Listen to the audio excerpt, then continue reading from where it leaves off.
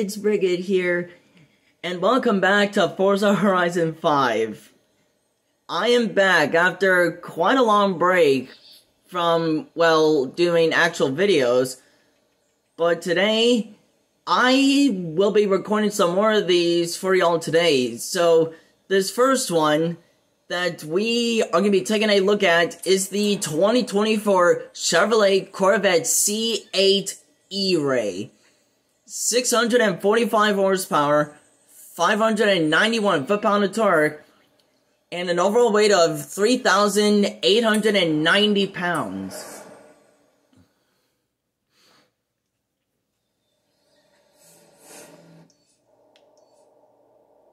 Okay, now let's go to some place where there's... I know players around so that y'all can hear this thing.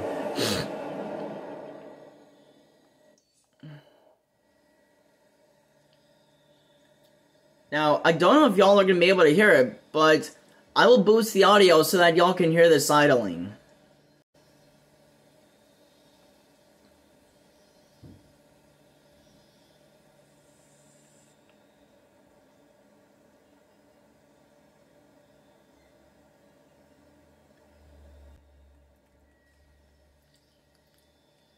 I don't actually know uh, this thing has like an actual engine sound, so so let's see how this thing sounds.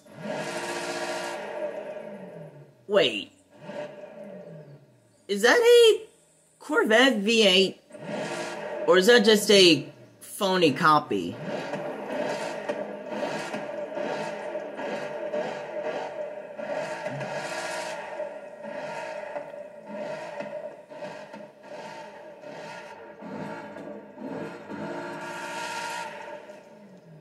I can't actually tell if that's real or not, but let's go.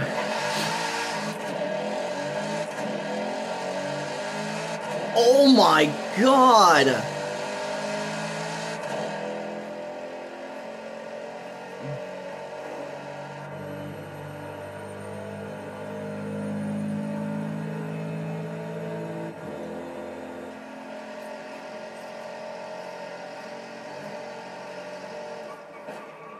Hold on.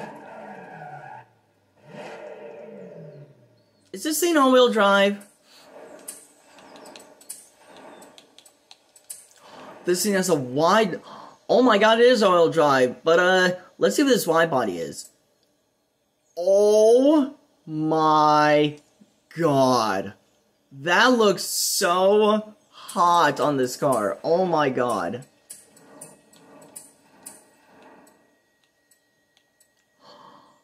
I can make Mosargi's uh, old Corvette C8. And I and I can even turn this thing into the new Z06. Oh my god, this is the most customizable Corvette that I've ever seen.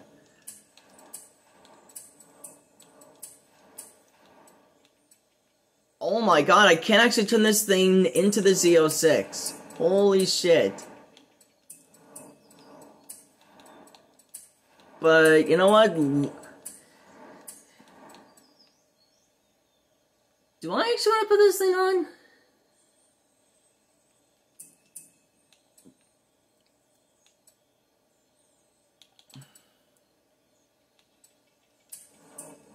Eh, fuck it. Let's put it on.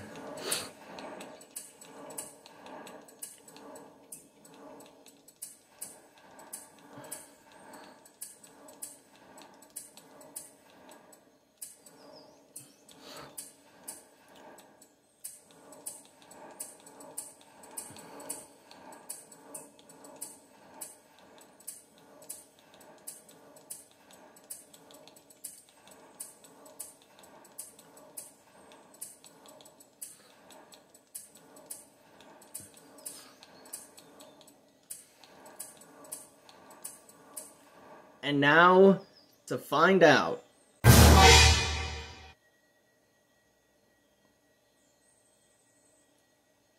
Thirteen hundred and twenty-eight horsepower, 1,084 foot-pound of torque and now an overall weight of 3,206 pounds. Oh my god. Okay, but in terms of the engine options, so we got the regular, we got the Gallardo V10, we we had the Aventador V12, a a Ferrari uh, F50 GT, a Ferrari LaFerrari V12, or whichever one that is, and the uh, NASCAR V8.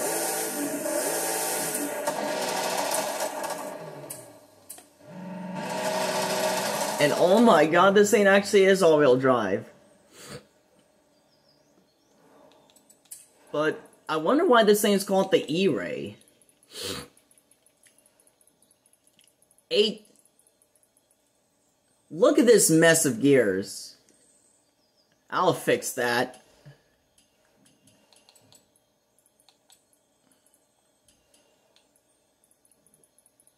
Okay, let's do this, and then this.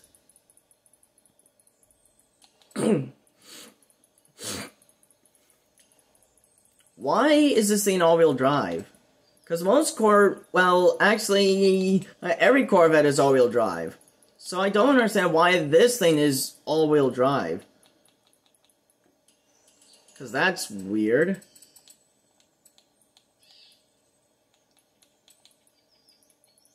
Okay, let's fix these gears. Because this is just a conglomerate mess of the gears. Like, come on, man.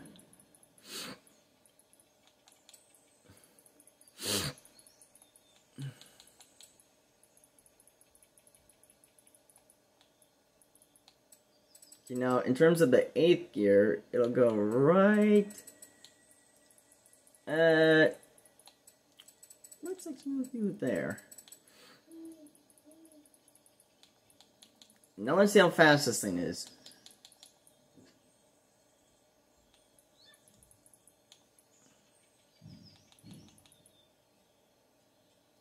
Two hundred and twenty-seven point six miles per hour. That's not bad. Okay, I apologize if y'all can hear sounds in the background. That's, well, well, it's early in the morning, so one of my roommates, of which I'm not going to mention anything else about them, but they're having a rather interesting morning, let's just say that. anyway, the liveries. Oh my god. Look at these. Holy shit. I am not gonna put Lightning McQueen on there because that's too cliche.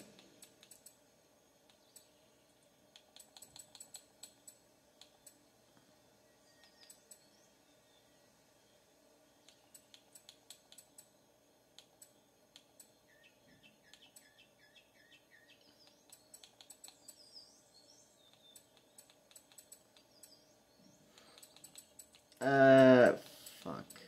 see what other liveries are Bad Corvette, Ken Block. I'm not gonna put that on there.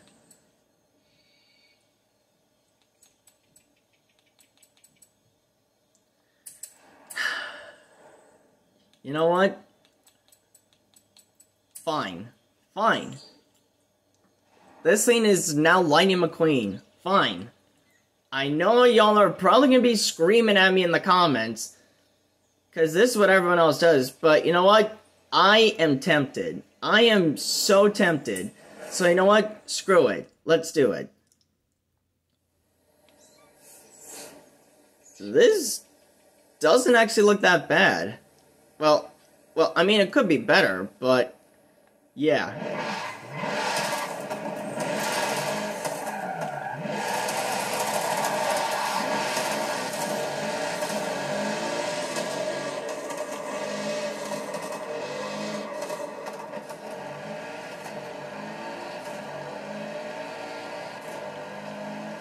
Oh my god, the sound of this thing. Holy shit.